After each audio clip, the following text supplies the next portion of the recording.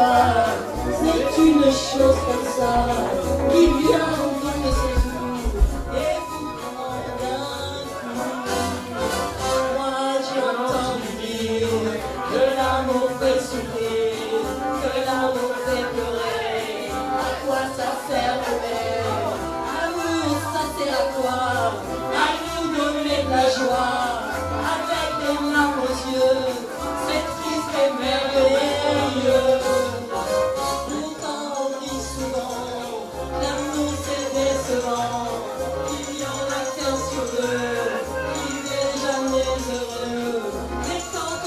Thank you.